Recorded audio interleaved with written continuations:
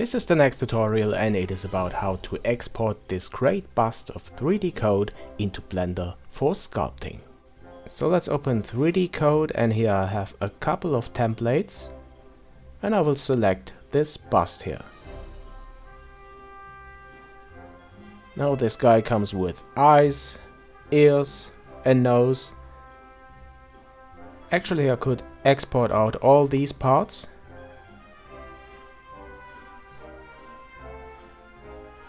But I will select just the head, which is called bust, and then I select File, Export, and Export Object.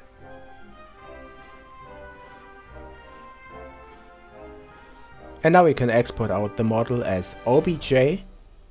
And here's a cool feature, you can reduce the number of polygons. I will reduce it by 20%. You could also reduce much more, no problem. And here we are in Blender and now let's import this OBJ. I leave the settings here as they are. Select the OBJ and press import OBJ. And wow, that's big. Select this and scale it down.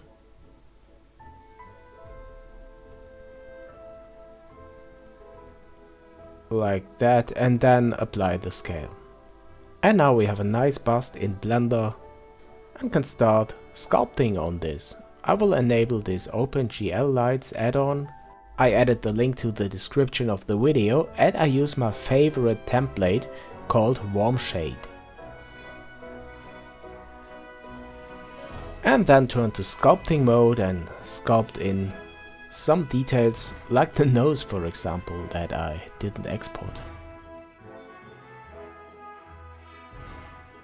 Okay then let me quickly add a nose to this guy because it really looks strange without a nose.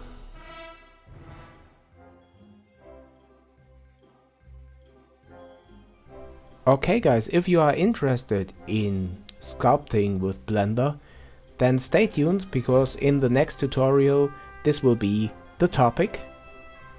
I will show you how to use masking or shortcuts for using brushes or other features. If you enjoyed the video then please like it and if you like my channel then subscribe. And I hope you guys come back soon to Jayanam.